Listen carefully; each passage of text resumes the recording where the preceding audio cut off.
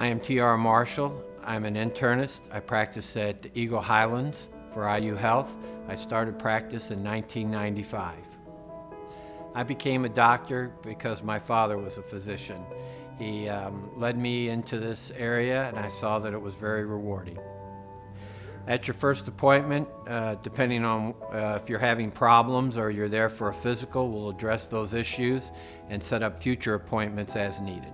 I take care of adults and I would uh, stress preventative health care is one of the most important things. Once you go and take care of your preventative health care, then you can find the other issues and deal with them uh, as they come up. The best part about my job is making people healthy and taking care of their problems so that they can lead a, a better life and enjoy life.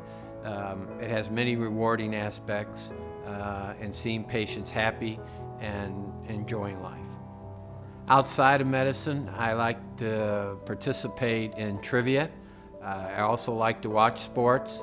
I was very active uh, playing sports, but I don't play as much as I uh, would like to at, at this stage.